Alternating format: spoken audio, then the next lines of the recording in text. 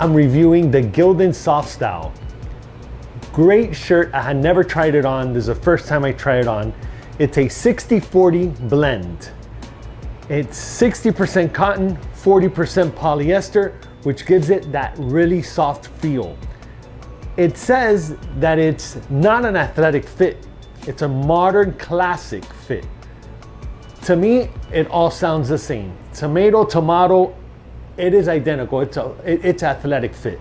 It fits really good on the arms, nice and snug, like I like it. Gotta admit it, I love